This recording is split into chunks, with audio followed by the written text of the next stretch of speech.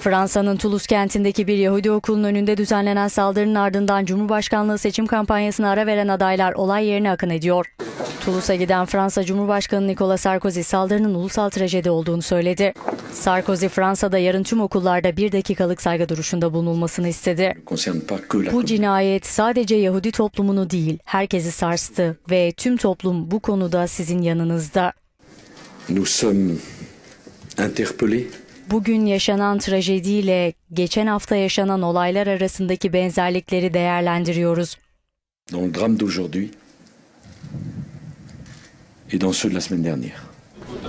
Ülkede Nisan ayında yapılacak Cumhurbaşkanlığı seçimlerinde yarışacak sosyalist aday François Hollande da ailelere ve Yahudilere destek için Toulouse'a gitti.